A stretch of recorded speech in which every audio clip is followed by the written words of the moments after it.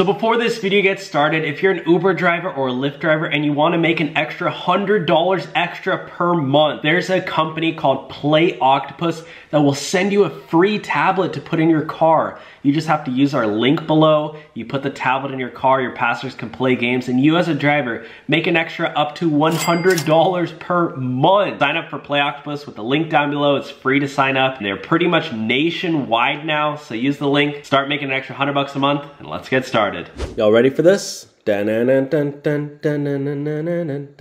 for next topic? Yeah. Uh, Uber protest. There's an Uber protest taking place.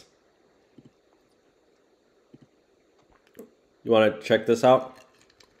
Yeah, so see why Uber and Bolt drivers staged a go slow protest in Kenya. So, guys, it's not even in the USA. I mean, we have viewers, by the way, uh, some haters online were saying, "Oh, why are you talking about non-U.S. news?"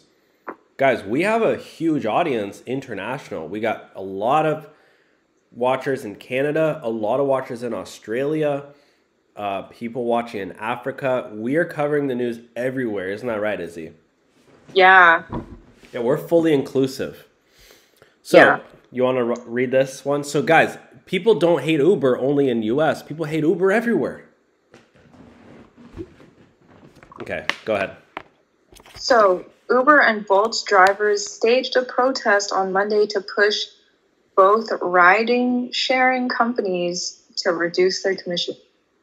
Fuel price and high commission is reducing the profit margin on the side of the drivers, but on the other hand, a reduced commission would affect the business model of both ride sharing companies. Yep. Pretty nuts. So basically, what they did was um,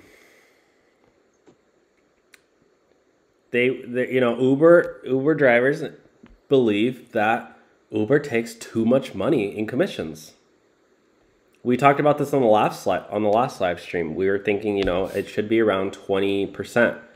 And on some rides, drivers send in screenshots all the time where they only made where they only made 30% on the ride. It'll be like a $40 ride and the driver only gets like 12 bucks. Like they Uber's taken over half of it. So, and the Uber CEO, his answer to that was because of insurance costs. I don't know if you all you remember that interview. I'll just pull, I'll just pull it up really quick just so we're all on the same page. Um, Uber CEO interview with the rideshare guy. So our we've talked what? we've covered upside before. What would you tell drivers who are complaining about the commission that Uber takes? Yep, here we go. So I, I think one um, issue to note as it relates to uh, our commission and, and booking fee, et cetera, is we're also responsible for insurance costs and insurance yep. costs. Uh, unfortunately, he looks like he looks a little bit like Steve Jobs here with the um, with the the outfit. Yeah. Look at this, Steve not Steve Jobs turtleneck. So Steve Jobs, guys, um, he always wears this this shirt here. Is in is the Uber CEO trying to be like Steve Jobs? like I'm I'm serious. Like Steve Jobs always wears this this black turtleneck. I don't know if you guys know this, but yeah, look at this. For for nine years straight, he wore the same shirt.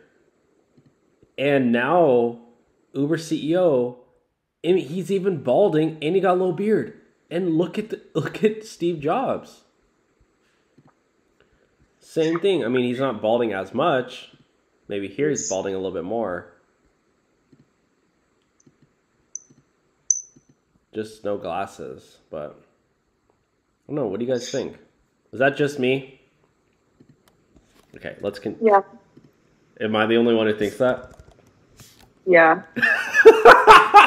We're also responsible for insurance costs, and insurance yeah. costs, uh, unfortunately, are very, very high in the U.S. due to a number uh, of factors. Okay, well, in the U.S., sure, but what about Kenya? Yeah, what about Kenya? Yeah, what do you got to say about that, Mr. Uber CEO? Aka Steve Jobs of Uber. And that's something that that kind of is It, it's consistent. It has unfortunately been increasing, even though um, the rate of incidents has been decreasing. The Yeah. cost per incident for a variety of uh, I think we should interview the Uber CEO. Yeah. Because- I'll hit him up. You and me both. We should we should do an interview with him. Yeah, I'll, I'll email him and ask if he's down. Please do. I mean, Yeah. I'll, I'll Snapchat him. Cause look at this interview. It only has eight thousand views. I think our interview with him would get at least hundred k views. Yeah, we should interview the Lyft CEO too. Oh, I'm down. I'm down. We should get on the news. We should go. We should like. Should we start trying to get on the news? you know, when they interview like different experts, they could interview like Izzy from the Rideshare Hub. Yeah. That would be cool. We need a PR person, guys. If anybody out there has PR experience, I mean, I think you could just email them. Honestly, Yeah.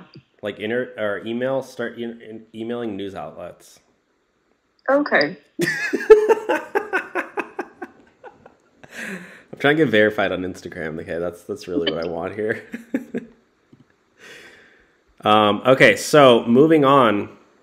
Um, yeah, so basically, yeah, basically what happened was there's a protest. Um, even in Kenya, Uber typically charges 25% commission. Has filed a petition to the High Court to revise the regulation. So Uber, it sounds like Uber doesn't even want to pay drivers that much. They want to pay them less. Wow.